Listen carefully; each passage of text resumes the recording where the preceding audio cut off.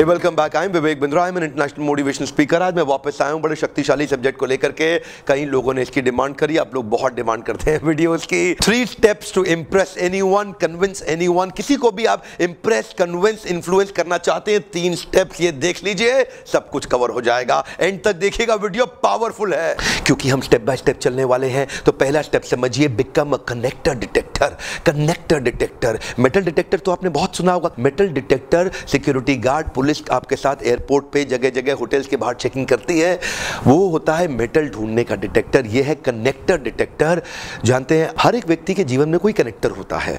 उसका कुछ ना कुछ कनेक्टर होता है क्योंकि बिज़नेस लॉजिकल होता है, परंतु लोग इमोशनल होते हैं। इमोशनल व्यक्ति का कुछ ना कुछ कनेक्टर होगा, वो जिसके साथ छूते ही आप कनेक्ट हो जाएँगे। अगर इधर है प्लग और इधर है सॉकेट इधर से डालेंगे, बिजली पास नहीं करेगी, इधर से डालेंगे, बिजली पास नहीं करेगी। प्लग को इधर से ही सॉकेट में डालना होगा, जैसे ही कनेक्ट हो जाएगा, करंट पास करेगा और आपका इलेक्ट्रिकल अप्लायंस चलने लग जाएगा। ठीक उसी प्रकार, हर एक व्यक्ति का भी एक इमोशनल कनेक्टर होता है, उसको छूने से, उसको कनेक्ट करने से आपका संबंध जल्दी बन जाता है। मैं एक उदाहरण लेता हूँ, अगर आप मोबाइल बेचने वाले एक सेल्समैन हैं और आपके काउंटर पे कोई कस्टमर आके कहता है, बैटरी लो हो जाती है ना तो दिमाग की दही हो जाती है। कनेक्टर मिल गया। इसका मतलब बैटरी लो ने उसको बहुत परेशान कर रखा है। उसी कनेक्टर को पकड़ लीजिएगा। एक और व्यक्ति कहता है, फ़ोन हैंग हो जाता है ना तो दिमाग खराब हो जाता है। कनेक्टर मिल गया। इसी कनेक्टर को पकड़ लेना। हर एक व्यक्ति के जीवन में नीड, इंटरेस्ट, कंसर्न, एक्सपेक्टेशन, समस्याएँ, चिंताएँ, परेशानियाँ, ये जो आप देखते हैं, यही से आपको कनेक्टर मिलता है। कनेक्टर अपने जीवन का नहीं, उसके जीवन का। इसका मतलब क्या हुआ? उसके बारे में बात हो रही है। आपको इंटरेस्टिंग नहीं बनना है। इंटरेस्टेड बनना है। कम ऑन इंटरेस्टिंग नहीं बनना है। इंटरेस्टेड बनना है। इंटरेस्टिंग लोग जीवन में कुछ नहीं कर पाते, लेकिन अगर आप सामने वाले में इंटरेस्टेड हो जाते हैं तो वो तुरंत आप में इंटरेस्ट लेता है। आप अपने बारे में बात करके दुनिया में ज़्यादा लोगों को कभी इन्फ्लुएंस नहीं कर पाएँगे। किसी को भी इन्फ्लुएंस कन्विंस या इंप्रेस करना है, उसके बारे में बात करिए। इसीलिए इंटरेस्टिंग नहीं बनना है इंटरेस्टेड बनना है, उसके जीवन के अंदर इंटरेस्टेड बनना, उसका कनेक्टर ढूंढना है। लोगों के अलग अलग कनेक्टर हो सकते हैं स्पोर्ट्स हो सकता है मूवीज़ हो सकता है म्यूज़िक हो सकता है, भजन, कीर्तन भी हो सकता है मोटिवेशन इंस्पिरेशन भी हो सकता है टेक एंड गैजेट्स भी हो सकता है, लड़कियों के लिए सेल्फी भी हो सकता है। एक गृहिणी के लिए कुकिंग की रेसिपीज़ भी हो सकती है। पर पहले स्टेप में आपको बहुत डिटेल में जाने की आवश्यकता नहीं है। उसके कुछ लाइंस को कैच करिए। कुछ कनेक्टिंग लाइंस को कैच करिए। और कनेक्टर मिलते ही रिपीट द कनेक्टर कनेक्टर मिलते ही रिपीट द कनेक्टर एक पावरफुल टूल आपको बताता हूँ। Parroting paraphrasing one more time come on parroting paraphrasing connector मिलते ही उसको पैरेटिंग या पैराफ्रेजिंग करके एक दफ़ा रिपीट कर दीजिए। यानी कि केवल कनेक्टर ढूँढने पे कनेक्ट नहीं कर पाएँगे आप। कनेक्टर को जब आप रिपीट करेंगे तो सामने वाला व्यक्ति सोचेगा, ये मुझको समझता है। जब मोबाइल हैंग हो जाता है ना तो दिमाग की दही हो जाती है। और अगर आप मोबाइल बेचते वक्त उसको कहते हैं, आप बिल्कुल ठीक कह रहे हैं। मोबाइल अगर हैंग हो जाएगा तो कोई भी आदमी परेशान हो जाता है। वो आपके साथ कनेक्टेड महसूस करेगा। अब वो महसूस करेगा, ये मेरी बात को समझ रहा है। वो कहता है, बैटरी लो हो जाती है तो परेशान हो जाता हूँ। आप भी बोले, बात तो आप ठीक कह रहे हैं। बैटरी अगर फ़ोन की लो हो जाए तो आपको परेशानी हो जाएगी। बार बार पावर बैंक संभालने पड़ेंगे। जब आप उसके कनेक्टर को रिपीट करते हैं, उसके अंदर ये कॉन्फिडेंस आ जाता है कि अब आप उसको समझ रहे हैं। जब आप उसके कनेक्टर को रिपीट करते हैं, वो ये महसूस करता है कि ये भी वही महसूस कर रहा है जो मैं महसूस कर रहा हूँ। एक्चुअली डीलिंग का लेवल अच्छा करने से पहले फीलिंग का लेवल ठीक करना होगा। जब आपकी फीलिंग का लेवल सेम हो जाएगा तो डीलिंग का लेवल अपने आप ऊँचा हो जाएगा। उसकी फीलिंग के साथ अपनी फीलिंग को जोड़िए, उसको बोलते हैं कनेक्टर ढूंढ के रिपीट द कनेक्टर जो मैंने आपको बताया पैरेटिंग और पैराफ्रेजिंग कभी कभी सेम शब्दों में उसकी बात रिपीट कर दें कभी कभी पैराफ्रेज करके अलग शब्दों में उसकी बात रिपीट कर दें. Because it is not communication it is communication it is not communication it is communication communication is about you actually किसी भी व्यक्ति को कन्विंस करने के लिए कभी उसको कन्विंस मत करें. अगर आपको कन्विंस करने की ज़रूरत पड़ रही है, इसका मतलब आप कन्विंस बिल्कुल नहीं कर पा रहे हैं.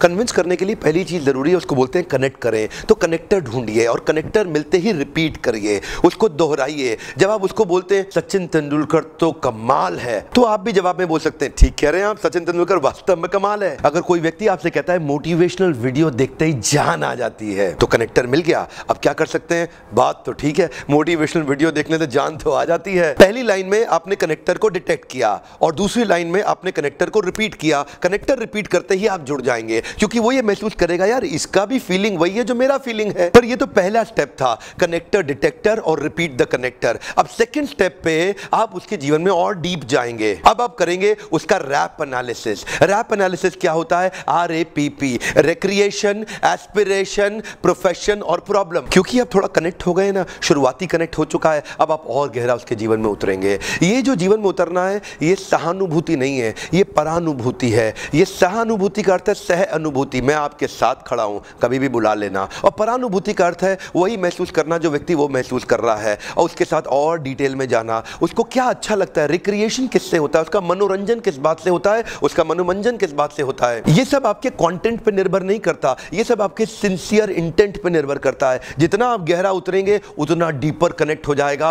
और सामने वाला व्यक्ति आपका फ़ैन हो जाएगा। इसलिए अपने जीवन के एनालिसिस को भी साइड रख दें। कई लोग ऑटोबायोग्राफिकल लिसनिंग करते हैं। यानी कि जब भी उनसे आप बात करो तो वो अपने रेफरेंस पॉइंट से सोचते हैं। अगर आप उनसे बात करें, यार, बड़ी तकलीफ़ हुई, मुझे तीन किलोमीटर चलना पड़ा। तो वो क्या जवाब देता है? अरे तू क्या चला जो मैं चला था? ये ऑटोबायोग्राफिकल लिसनिंग वाले बिल्कुल एम्पैथी परानुभूति को नहीं समझते। आप इनको बताओ कि मैं नई जीन्स खरीद के लाया हूँ। ए, तू क्या जीन्स लेके आया जो मैं लेके आया था? आप उसको नया मोबाइल दिखाओ। तेरा मोबाइल फोर जीबी रैम मेरा सिक्स जीबी रैम है। ये लोग कभी भी सामने वाले की फीलिंग को कनेक्ट नहीं कर पाते, इसीलिए लोग इनके साथ कनेक्ट नहीं कर पाते। और उतरिए उसके जीवन में गहरा, उसकी एस्पिरेशन समझिए कि वो जाना कहाँ चाहता है, वो बनना क्या चाहता है, उसकी लाइफ में इंटेंशन और एस्पिरेशन है क्या, उसके प्रोफेशन को समझिए, उसकी जीवन की करंट प्रॉब्लम्स को समझिए। ये वो जगह है जहाँ आप और डिटेल में उतरेंगे। क्योंकि पहले स्टेप में आपने कनेक्टर ढूंढा कनेक्टर डिटेक्टर बन के आप कनेक्ट कर गए रिपीट द कनेक्टर पर यहाँ पे आप और गहरा उतरेंगे। इतना गहरा उतर जाएँगे कि आप उसके जीवन को समझने लगेंगे। इससे वो आपको अपने जीवन का एक नजदीकी मित्र मानने लगेगा। रैप एनालिसिस बहुत ध्यान से करना होगा। बको ध्यानम।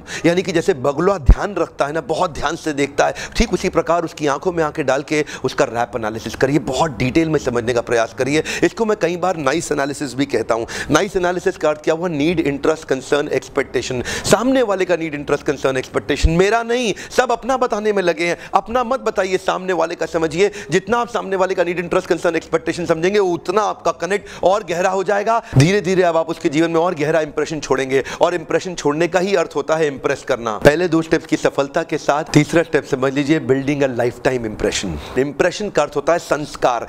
इंप्रेस वर्ड इंप्रेशन से ही आता है और जब आप उसकी मानसिकता में एक लाइफ टाइम संस्कार क्रिएट कर देते हैं, अब वो आपको ज़िंदगी भर नहीं भूल सकता। आप सोच रहे होंगे, मुझे तो कम्युनिकेट करना नहीं आता, मैं लाइफ टाइम इंप्रेशन कैसे छोड़ूँगा? बहुत सरल है it is not about communicate it is communicate it is not about informing people it is about involving people actually जो मेरा तीसरा पॉइंट है, ये मैंने भगवत गीता से लिया है। कृष्ण कंफर्म करते हैं गीता के अंदर, लोगों को याद क्या रहता है, संस्कार किस चीज़ का बनता है? अत्यंत सुख, अत्यंत दुख, अत्यंत सर्दी, अत्यंत गर्मी, अत्यंत मान अत्यंत अपमान, अत्यंत लाभ, अत्यंत हानि, यही चीज़ें हैं जो आपके जीवन में एक संस्कार बना देती हैं और लाइफ टाइम इंप्रेशन क्रिएट करती हैं। इसको कई बार हम मैनेजमेंट में एक्सट्रीम कस्टमर डिलाइट भी कहते हैं। आपके घर के पास कई राशन की दुकानें होंगी, पर आप एक ही दुकान के पास बार बार जाते हैं। आपके घर के आसपास कई नाई की दुकानें होंगी बार्बर शॉप पर आप उसी एक नाई, उसी एक बार्बर के पास जाके बार बार अपने बाल कटाते हैं। आपके घर के पास कई गाड़ी और बाइक के मैकेनिक होंगे, पर आप उसी मैकेनिक के पास बार बार जाकर के अपनी बाइक ठीक कराते हैं। हो सकता है कि वो बाइक मैकेनिक दूर हो और रस्ते में कई और मैकेनिक शॉप्स आती हो, बट आप उसी के पास जाते हैं,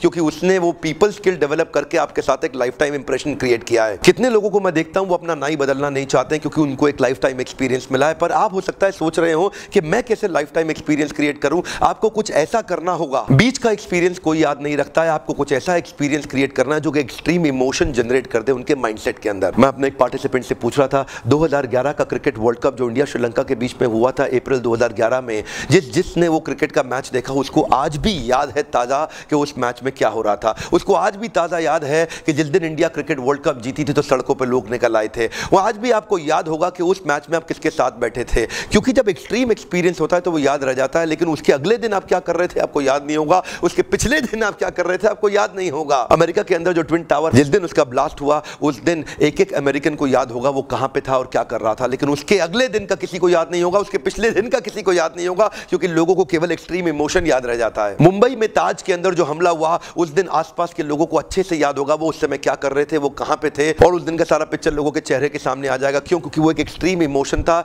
और लेकिन उससे पिछले दिन वो क्या कर रहे थे, उसके अगले दिन वो क्या कर रहे थे, उनको कुछ याद नहीं होगा। अगर किसी प्रकार से आप सामने वाले को इंप्रेस करने के लिए डीप इंप्रेशन क्रिएट कर दे ऐसा संस्कार क्रिएट कर दे, जो किसी ने ना किया उसके साथ, बस फिर तो वो आपको पूरा जीवन भर याद रखेगा। एक दफ़ा संडे के दिन मैं परिवार के साथ गाड़ी पे जा रहा था। अमूमन हमेशा मेरे पास ड्राइवर रहता है, पर उस दिन संडे के दिन छुट्टी थी ड्राइवर की तो गाड़ी में खुद ही ड्राइव कर रहा था। पंचर हो गई अचानक गाड़ी। उसी दौरान एक यंग लड़का रेडी के ऊपर जा रहा था। कुछ बिस्लरी के कैन लिए हुए, शायद किसी दुकान पर काम करता होगा। मैंने उसको आवाज़ मारी, रुको भैया, थोड़ी मदद करो, स्टेपनी चेंज करने में। बोला, साहब, मैं कर देता हूँ स्टेपनी चेंज। उसने बड़ी मेहनत करके मेरा स्टेपनी चेंज कर दिया, पंचर टायर को पीछे लगा और पीछे से फ्रेश टायर ला करके स्टेपनी को फिट कर दिया। काफ़ी मेहनत करी थी उसने। तो मैंने उसको कुछ पैसे देने चाहे। तो जानते हैं क्या जवाब दिया? साहब, पैसा तो मजदूरी का लिया जाता है। मदद करने का नहीं। साहब, मैं मजदूरी का पैसा लेता हूँ, मदद करने का नहीं। इस बात ने मुझे बहुत प्रभावित किया। लाइफ टाइम इंप्रेशन क्रिएट कर दिया। लाइफ टाइम एक्सपीरियंस इमोशन से आता है लॉजिक और डेटा से नहीं आता। जिस रिलेशन में होगा अच्छा इमोशन वहाँ बढ़ जाएगा बहुत डिवोशन अब मैं सारे वीडियो को आपके लिए समराइज करता हूँ। सबसे पहला स्टेप था identify the connector and repeat the connector connector मिलने के बाद आप उसके जीवन में थोड़ा नज़दीक हो जाएँगे। उसके बाद उसका रैप एनालिसिस करिए, उसका नाइस एनालिसिस करिए। रैप एनालिसिस का अर्थ था उसका रिक्रिएशन उसकी एस्पिरेशन उसका प्रोफेशन उसकी प्रॉब्लम नाइस एनालिसिस का अर्थ था, उसका नीड उसका इंटरेस्ट उसका कंसर्न उसका एक्सपेक्टेशन इससे आप उसके जीवन में और गहरा उतर जाएँगे, बड़ा इन्फ्लुएंस क्रिएट कर पाएँगे, ज़्यादा उसको इंप्रेस कर पाएँगे और उसके बाद finally think of something to create a lifetime experience and impression is life जिसका आप उसके ऐसे इमोशन को छू जाए, जो आपसे वो ज़िंदगी भर के लिए इंप्रेस हो जाए। तीसरा स्टेप आपको ज़िंदगी भर का साथ दे सकता है। मेरे कॉर्पोरेट क्लाइंट्स में से शिकायत करते हैं, मिस्टर बिंद्रा, सारे वीडियोस आप हिंदी में क्यों बना रहे हैं? एक्चुअली मैं हिंदी में वीडियो इसलिए बना रहा हूँ कॉर्पोरेट की मदद तो होती रहेगी, लेकिन गाँव, कस्बा, तालुका, तहसील छोटे छोटे शहर के कई ऐसे नौजवान हैं जिनको मैं एम्पावर करना चाहता हूँ, ये वीडियोस मैं आपकी मदद के लिए लगातार बनाता रहता हूँ। अगर आप चाहते हैं हर वीडियो आपको मिलता रहे सब्सक्राइब ज़रूर करिए। इन वीडियोस को दूर दूर तक फैलाने में मेरे मिशन में मेरी मदद करिए व्हाट्सएप और फेसबुक पर तो ज़रूर शेयर करिएगा। इन तीनों स्टेप्स में से किस किस को आप अपने जीवन में उतारने वाले नीचे कॉमेंट बॉक्स में लिख के मुझे ज़रूर बताइएगा। वीडियो देखने के लिए आपका बहुत बहुत धन्यवाद।